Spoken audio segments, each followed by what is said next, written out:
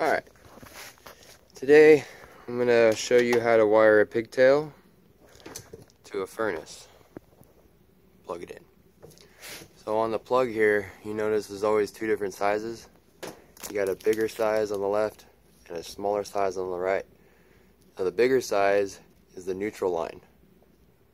So that's your L2. And then the smaller size is your L1, which is your power, your hot power, main line. And then that's always your ground.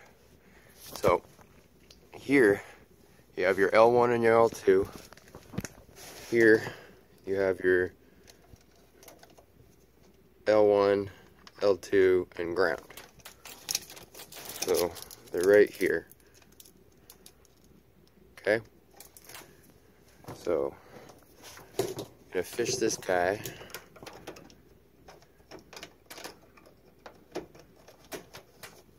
The hole. Like so. Okay. Put the excess there. Alright, so to tell the difference on a pigtail, which which which line is which, I think can focus for a second. Alright, you see how it's smooth? This is your hot line. Tell the difference on the other side. See the how there's ridges on that? Like more like lines.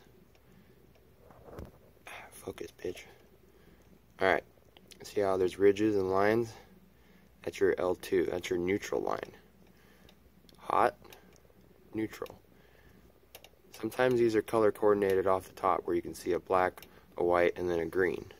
If you cut those off and peel these back, then you would see a different color.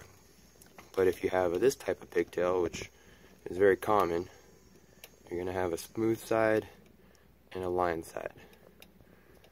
So I'm going to cut these back and I'll show you what it look like. Okay, so I've cut these back and they don't have any colors indicating which line is which.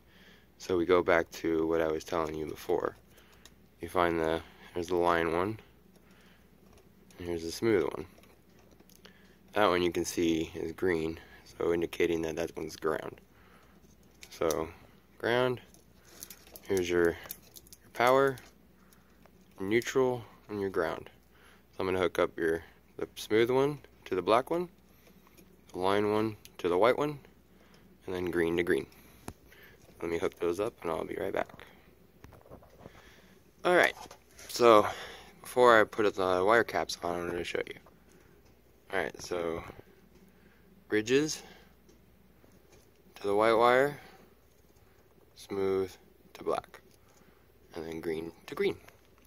And another thing, always use the correct wire caps. This wire cap is used for 120, which is this pigtail right here. It's 120 volt pigtail. So you would use like a smaller cap like this, a blue one, this is 24 volts. So this is everything that's for the smaller ones. So always, always use the right caps. Another thing too is you're going to have a bunch of excess wire about sticking out this much. You don't want any exposed wire hanging outside of this cap. Reasoning is you're going to tuck it into this little box right here. Any exposed wire can touch this box and then short out the, the, um, the breaker, which means it'll trip out. And then it'll constantly tripping, tripping, tripping, tripping. Why? Because you have too much wire exposed and it's just arcing out inside this box here. So, always cut it cut it down. See, when you put this cap on, there's a good gauge. When you screw that down, it's going to go down, and you won't have any exposed wire. Let me put these caps on, I'll be back. Alright, caps are on. Another thing to do before putting in the box is you want to wrap this cap with a little bit of electrical tape. So it'll ensure that this cap stays on these wires and that there's going to be no arcing inside this box. Okay, so I'll be right back again.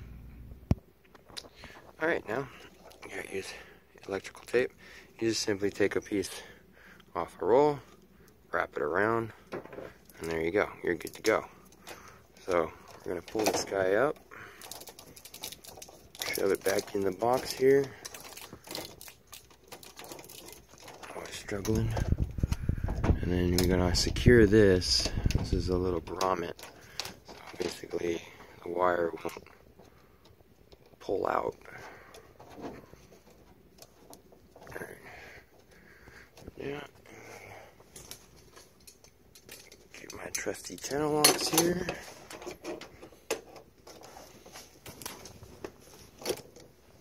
Kind of hard to do one-handed here.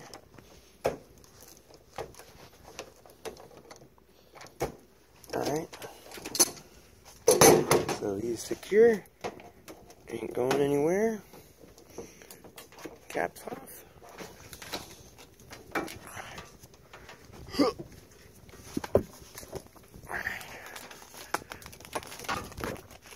Around, you don't want excess.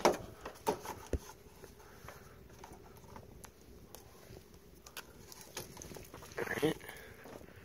And then plug her in like so. Alright, so if everything's good, it should just be a steady light.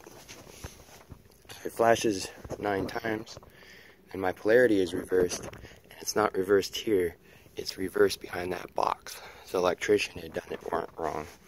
So we put the door switch in. Red light. Perfect. All good. Installed correctly. So I just put the box back on.